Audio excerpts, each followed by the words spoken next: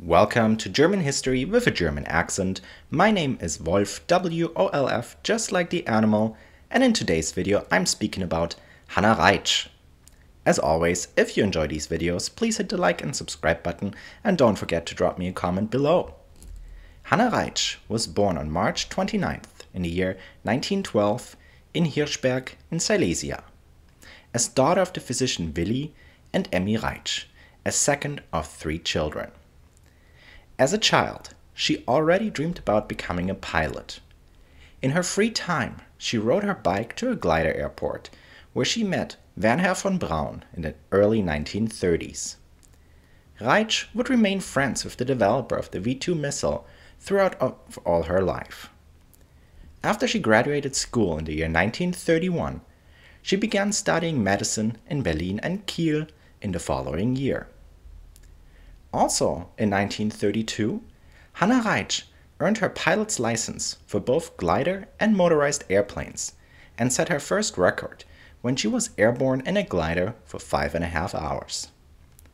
In the following year, she took a job as flight instructor in Schwäbisch Gmünd and joined an expedition in Brazil and Argentina. After four semesters of studying medicine, she left university without graduating. In June of the year 1935, Hanna Reitsch became a test pilot for the Deutsche Versuchsanstalt für Segelflug, a research institute for glider airplanes.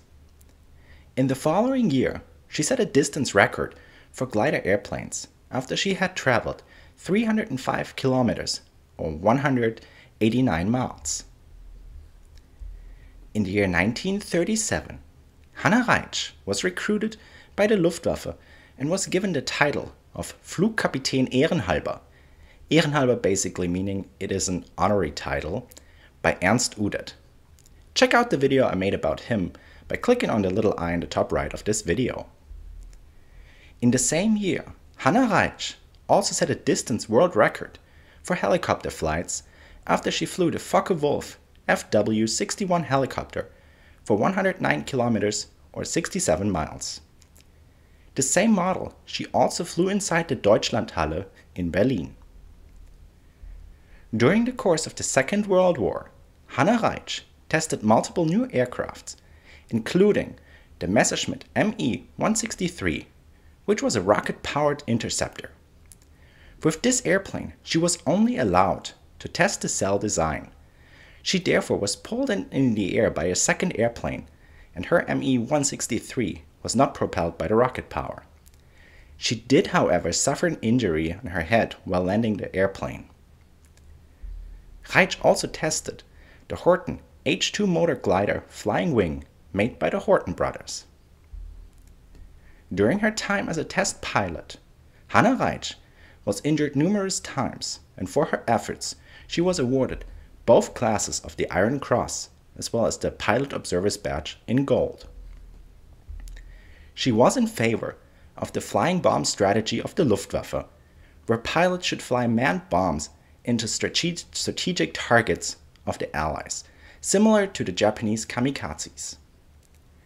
By the end of the Second World War, it was Hanna Reitsch whom flew Robert Ritter von Greim.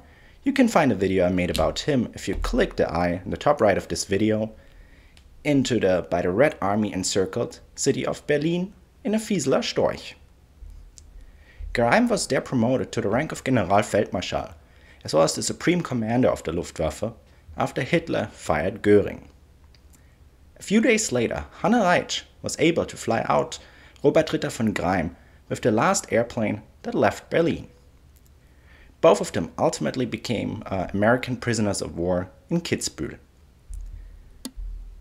Hanna Reitsch grew up in a family with a German national view which didn't quite welcome the Weimar democracy and was looking to reverse the Treaty of Versailles.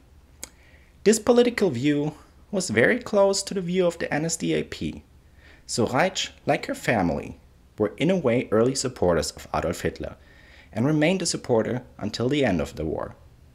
Yet, she clearly distanced herself from racial policies and also did not agree with the National Socialist image of a woman who believed a woman's sole purpose was to be a wife and mother. Hanna Reitsch also was never a member of the NSDAP.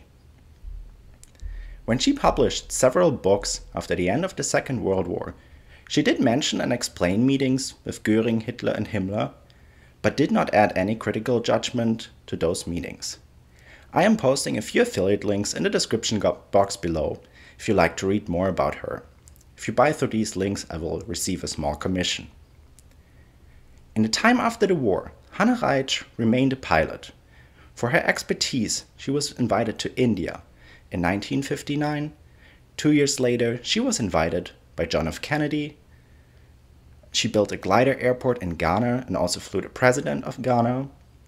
And Hanna Reitsch died on August 24th in the year 1979 in Frankfurt am Main at the age of 67. During her lifetime, she kept setting many flight records, which I will also write in the description box below. A few examples were she was the first woman to cross the Alps in a glider airplane, and she was also the first woman to fly a jet. She flew both the Messerschmitt ME 262 and the Heinkel HE 162. Thank you so much for watching.